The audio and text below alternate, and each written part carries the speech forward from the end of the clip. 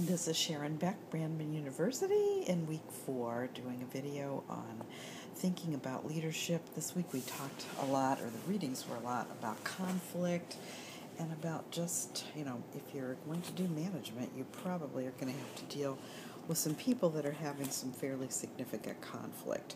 I think when I imagine myself trying to mediate conflict, that boy, does that seems to be really a difficult thing to do.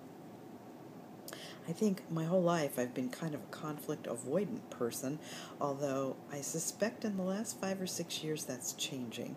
Uh, certainly, sitting in an office doing outpatient therapy, there really isn't a whole lot of conflict, and though my group psychotherapy practice involves excuse me, a number of other people, uh, we kind of each do our own thing and have our own clients, and really there's not a huge amount of conflict in our practice.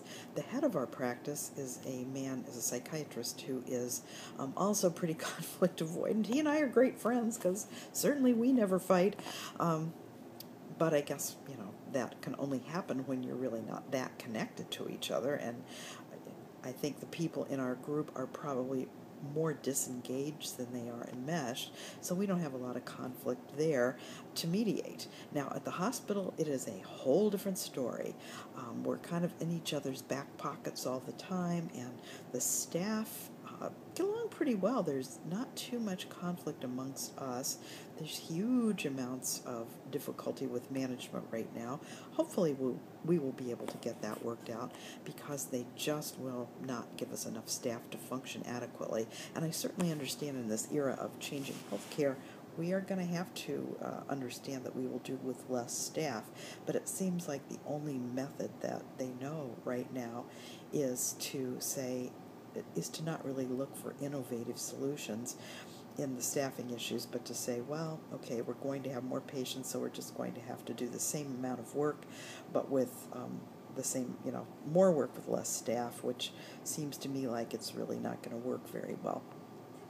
We had a completed suicide last week for a patient that had left our day program. Um, I did not know this patient, but I felt so, so bad for the young therapist who's been out of school all of a year, who had to try to manage her feelings. I spent about an hour with her just, just trying to listen and be there for her because I don't think there's anything that's very easy when a suicide is completed after a person walks out of the day program at night and you know that you were the last person that saw them in a therapeutic sense alive.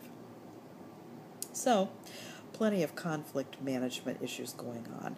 Uh, I guess the other thing that we worked on this week that was kind of an interesting, interesting thing to think about was Scharmer's article on Theory U and presencing. Um, I found that really fascinating think that there is a real gift to be able to sense what's ahead and to be able to listen in such a deep way that it's more it's certainly more than downloading and it's even more than empathy.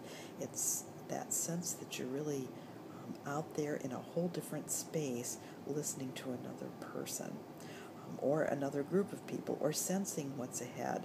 And I think I've had a tiny bit of that experience. My first husband used to call me Fiver from Watership Down, the movie, the rabbit that just could just kind of sense what was coming. Um, often, you know, I don't know, I think it's just sort of a gift to be able to feel pieces come together and know a little bit uh, a little bit of what might be ahead. Boy, I surely don't think we know right now in healthcare what's ahead, though. I don't care who you are. Uh, and how good you are at presencing, it's really tricky to understand how all of this is going to play out when it's all finished. So, those are a couple of things that we were thinking about this week that I've been kind of looking at. Um, it is coming along in this course now. Conflict management was the issue, and I hope that I really don't have to be in a position where I do a lot of conflict mediation. But I, I can see where it's probably a much better idea for the person that's the manager to get involved and try to understand and sort out conflicts between the staff.